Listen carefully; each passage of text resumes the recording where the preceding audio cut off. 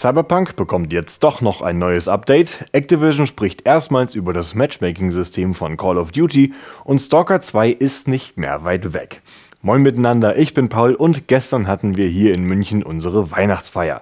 Ich bin immer noch ziemlich fertig, wir gehen die News heute also ganz gemütlich an. Die News werden euch heute präsentiert von den neuen MSI Mainboards der Z790 Max Serie, die für hohe Performance beim Gaming und der Content Creation stehen. Danke für die freundliche Unterstützung und jetzt geht es weiter mit den News.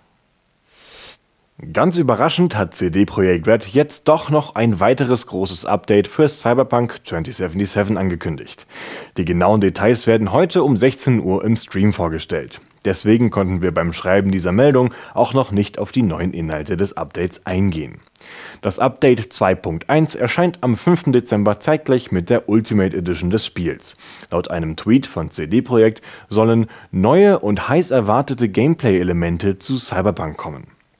Eigentlich dachten wir, dass schon mit Update 2.0 Ende Gelände für Cyberpunk ist, bis auf wenige Patches. Wir sind gespannt, was uns in Update 2.1 erwartet und halten euch natürlich auf dem Laufenden. Und damit ihr das auch mitbekommt, könnt ihr euch ja mal ein Abo schnappen. I only hope this won't mark the end of our collaboration. Activision diskutiert, ob sie skillbasiertes Matchmaking ins nächste Call of Duty einbauen wollen. Das sagte das Studio in einem Statement gegenüber Charlie Intel, einer Call of Duty Nachrichtenseite. Skillbasiertes Matchmaking ist immer etwas mysteriös. Eigentlich bedeutet das, dass Spielende, die etwa gleich gut sind, gegeneinander antreten, damit alle ein faires Match bekommen. Es wäre ja unfair, einen Neuling gegen einen Profi antreten zu lassen. Allerdings lassen sich die Entwicklungsstudios bei diesem Prozess nicht richtig in die Karten schauen. Bis auf sie weiß also niemand, wie genau dieses Matchmaking abläuft. Nun, anscheinend hat Activision davon die Nase voll. In dem Statement an Charlie Intel schrieb Activision, dass sie nun seit über zehn Jahren an ihrem Matchmaking-System arbeiten und immer noch weiter dran feilen. Die Arbeiten seien ein langwieriger Prozess und ihre Herangehensweise kombiniere Latenz, die Dauer der Matchsuche und das Können der Spielenden, um die bestmöglichen Matches für alle zu machen. Und jetzt der richtig spannende Teil. Activision möchte in Zukunft mehr Details zum gesamten Matchmaking-Prozess erzählen. Als Zeitraum gaben sie die Wochen nach dem Release der Season 1 für Call of Duty Modern Warfare 3 an. Das klingt jetzt alles erstmal recht langweilig. Kann mir doch egal sein, wie das Matchmaking funktioniert. Tatsächlich ist das aber ein potenziell riskantes Manöver von Activision. Denn wenn alle wissen, wie das Matchmaking-System funktioniert, dann wird es eventuell für einige möglich sein, dieses System auszutricksen und so schnell die COD-Leiter hinaufzusteigen. Und so oder so ist es sehr spannend, mal zu sehen, wie dieses ominöse Matchmaking denn nun funktioniert.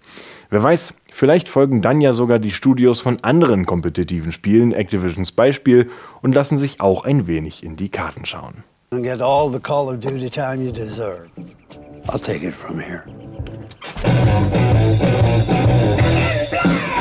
Nächste Woche Freitag erscheint der VR-Modus zum Resident Evil 4 Remake exklusiv für die PlayStation VR 2. Der Modus wurde bereits im Februar angekündigt, einen Monat vor dem Release des eigentlichen Spiels. Im Trailer sehen wir das Ballern aus der First-Person-Perspektive mit zwei Pistolen, Verfolgungsjagden in Waggons und natürlich auch allerlei Puzzle- und Bosskämpfe. Der Modus wird komplett kostenlos für Besitzer des Hauptspiels sein. Wenn ihr eine PSVR 2 besitzt, könnt ihr euch außerdem eine kostenlose Demo installieren, um zu schauen, ob das Spiel was für euch ist. Eigentlich ist es ja ein bisschen ironisch, dass Resi 4 einen First-Person-Modus bekommt. Immerhin war der vierte Serienteil ja der, der zu seinem ursprünglichen Release gerade wegen seiner Überschulterkamera für jede Menge Kontroversen unter den Spielenden sorgte. Das Resi 4 Remake erschien im März diesen Jahres und kam sehr gut an. Im GameStar-Test ergatterte es ganze 91 Punkte. Here we go. Stalker 2 wird im ersten Quartal 2024 erscheinen. Das teilte das Entwicklungsstudio GSC Game World während der gestrigen PC Gaming Show mit. Dort gab es auch einen neuen Trailer zu sehen. Ein genaues Datum wurde leider nicht genannt, aber vielleicht folgt das noch bei den Game Awards nächste Woche. Eigentlich sollte Stalker 2 schon 2022 erscheinen, wurde dann aber mehrmals wegen des Ukraine-Kriegs verschoben. Das Studio litt außerdem unter Hackerangriffen. Auf der Gamescom dieses Jahr war Stalker 2 das erste Mal für die Öffentlichkeit in einer Demo spielbar, konnte unsere Testerin Natalie aber noch nicht so wirklich überzeugen. Obwohl das Spiel direkt die angenehme Stalker-Atmosphäre versprühte, litt die Demo unter vielen technischen Problemen. Noch dazu war der spielbare Ausschnitt relativ nichtssagend. Nathalies vollen Artikel habe ich euch in der Videobeschreibung verlinkt. But we can't quite seem to get all the pieces to fit. Maybe you can figure it out. Nach 20 Jahren erhält Homeworld endlich einen dritten Serienteil. Jetzt kündigten Entwicklungsstudio Blackbird Interactive und Publisher Gearbox an, dass die Sci-Fi-Strategie am 8. März 2024 erscheint. Wenn ihr besonders ungeduldig seid und noch früher mit dem Spielen loslegen wollt, könnt ihr bereits drei Tage vorher ab dem 5. März zocken, wenn ihr die Fleet Command oder Collectors Edition von Homeworld 3 vorbestellt. Homeworld 3 erscheint für Steam und den Epic Game Store. Die PC-Anforderungen kennen wir auch schon. Empfohlen wird ein Intel i7 11700K oder AMD Ryzen 5 5600K Prozessor, 16 GB RAM und eine Nvidia RTX 2070, AMD RX 5700 oder Intel Arc A580 Grafikkarte. Die ersten Homeworld-Spiele waren wahre Meilensteine für die Gaming-Welt mit richtigen 3D-Raumschlachten, die es seitdem selten wieder in dieser Form zu sehen gab. Wir konnten Homeworld 3 bereits anspielen. Den Link zum Video findet ihr natürlich in der Videobeschreibung. Final wave of bombers away. Finish the job. Seit zehn Jahren gibt es nun schon GTA Online und nun hat Rockstar angekündigt, dass sie endlich Wild- und Haustiere in den Online-Modus bringen wollen. Tiere waren eigentlich ein exklusives Feature des Story-Modus, sie sollen jetzt aber auch die Online-Welt bevölkern und neue Aktivitäten für die Spielenden mitbringen. Der Haken, dieses Feature wird es nur für PlayStation 5 und Xbox Series Konsolen geben. Die ältere Generation und der PC gehen leer aus. Ihr werdet außerdem mit Yusuf Amir zusammenarbeiten, den Fans bereits aus GTA 4 kennen. Ihr helft ihm dabei, luxuriöse Fahrzeuge zu sammeln. Neben diesen neuen Raubzügen könnt ihr zukünftig auch Drift-Modifizierungen an einigen eurer Fahrzeuge vornehmen und sie in einer Reihe von Driftrennen ausprobieren. Das genaue Release-Datum für das Update kennen wir leider noch nicht, nur dass es irgendwann im Dezember erscheinen soll. Come on, man, they're gaining on us! I always come prepared! What are you kidding me? Banana peels! Whoa! Actually, they are surprisingly effective! Und dann haben wir noch zwei Meldungen in eigener Sache. Morgen am 2. Dezember findet der diesjährige Bisalina Charity Stream statt. Der Bisalina Stream ist ein Speedrun-Livestream, der seit einigen Jahren Content Creators und Speedrunner zusammenbringt. In diesem Jahr haben sie sich vorgenommen, das größte europäische Streaming-Event zu veranstalten. Die Teilnehmenden werden sich in mehreren Kategorien untereinander messen.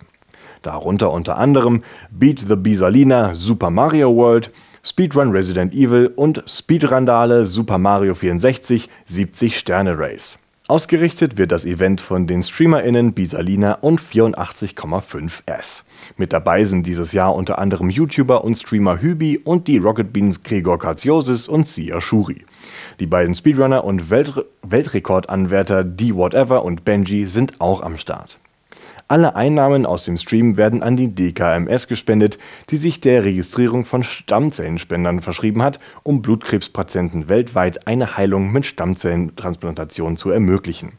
Der Stream wird im Experion in Köln aufgezeichnet und startet morgen um 14 Uhr. Auf Twitch könnt ihr das Event natürlich auch verfolgen, zum Beispiel beim Twitch-Kanal Screenfire Gaming von Andreas Sperling, der für Webedia antritt. Und zu guter Letzt sind wir heute natürlich im Dezember angekommen und ihr wisst, was das heißt. Das erste Türchen eures Adventskalenders darf geöffnet werden. Und natürlich darf auch dieses Jahr der gemeinsame Adventskalender von GameStar, GamePro und Mein MMO nicht fehlen.